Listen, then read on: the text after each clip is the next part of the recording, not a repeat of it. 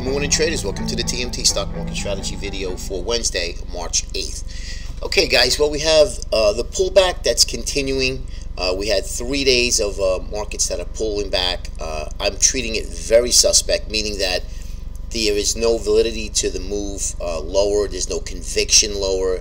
Very slow grind. We gap down. They try to fill the gap and then we just go sideways pretty much all day. That's for the day trade now if you're short and your position short you know you're doing okay um, but it's only three days off of the uh, the big explosive move after Donald Trump's speech. Uh, we've sold off and took back all of its gains, and actually, uh, in some indices, are lower previously from that uh, that big gap that big gap up day that we had. So uh, I am treating this pullback as suspect in a sense that um, I don't believe I do believe that we excuse me I do believe that the uh, the move will probably probably will be bought now. Um, interesting though, if we can get some more fear in the market and maybe a little bit more uh, aggressive in volume, uh, then we could we could be in that fourth minor wave pullback of the bigger five wave market top. If you if that if that makes sense to you guys, um, and sometimes that fourth wave minor pullback is the start of that um, of, of the market decline. So that means that we may have a top in place. Um, but I'm, I'm, i really don't think so. Like I'm not really uh, excited about it. Um, we are, we could be starting that fourth wave minor pullback. It does look like it's happening, meaning that it's going to be shallow, very short, very sweet, and buyers of dips comes in and pushes the market higher as the shorts come in to try to short it. Now, I've said this many times in the videos in the last week or so that would be an ideal situation that we get a higher high off of this swing high, that, that high that we just made uh, the other day, and shorts capitulate. They put all their money into the short side again, lose all their money as they get squeezed and cover. Longs are already in, and there's nobody to buy the market, and that's when the market starts to roll over. Then you get some fear. We get um, some sort of a catalyst to the downside, and then we have the ball rolling down the hill. Uh, so couple scenarios that I just pointed out to you guys, and it's still intact.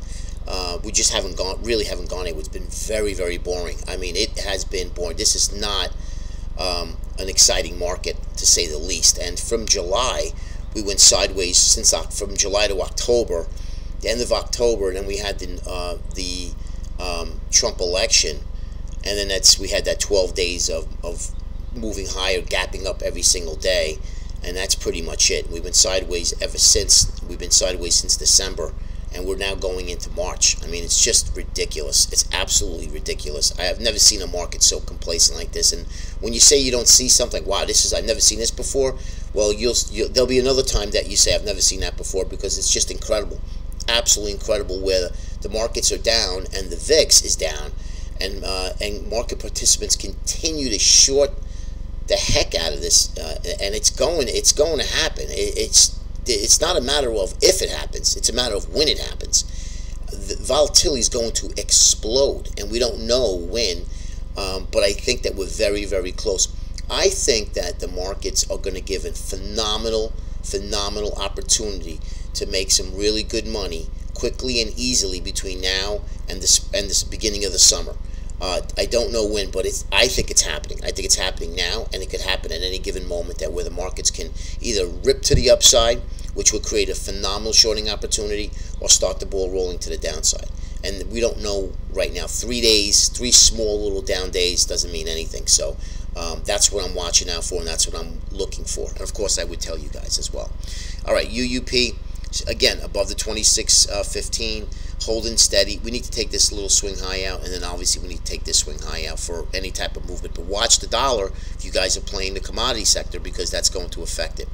TLT, uh, like I said, no trade here. If we lose this, we should test the low here, and if we break the low here, that tells me that the USB, the uh, uh, bonds weekly, is losing the 200 day move 200 week moving average excuse me. And then then we should be looking to sell rallies. But I'm not doing anything in this until we start to see a breakdown. GLD uh, we had talked about how GLD we had some divergence from the miners and the gold. And you can see here we're starting to break down taken away from our TMT proprietary price channel. Okay? And GDX is the culprit. And this is where I'm saying guys be careful. Like I, I remember I mentioned I said I, I, don't I don't like the move. I think this is just corrective, and I think we test the uh, make a lower a higher low one more time. Um, not not that it's not a bad trade. It's just been you know you only had really a three day up trade.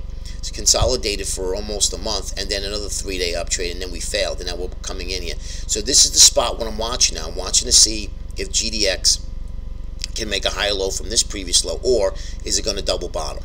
Okay, and then once it holds and can base a little bit, like it like it did here, here, here, and here, and takes out the high, the swing high to base, that's when I'm looking to get in GDX. At the moment, I'm looking for where it's going to stabilize, okay?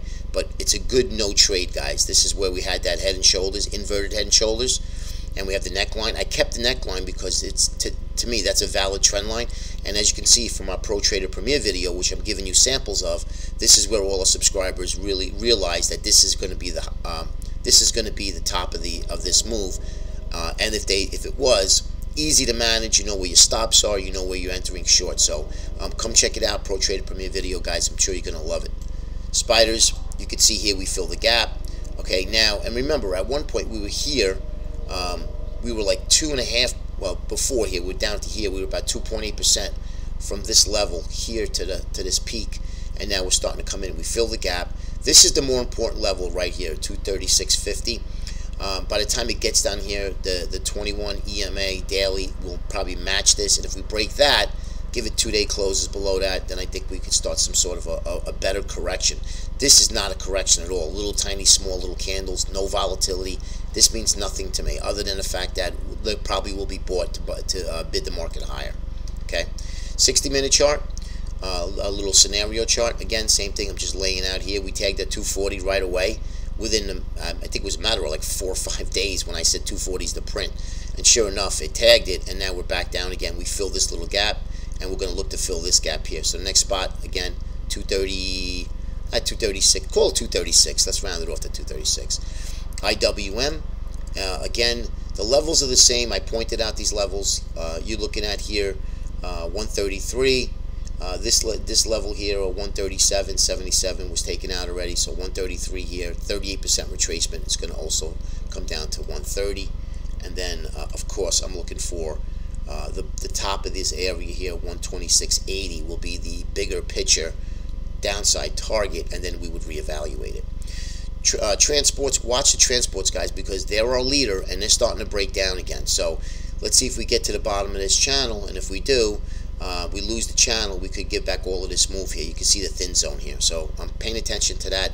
And it has been really boring. I mean, you know, to try to make 30, 40, 50 cents and, and during the day off the indices, very difficult when you're gapping up or gapping down and you go pretty much sideways most of the day.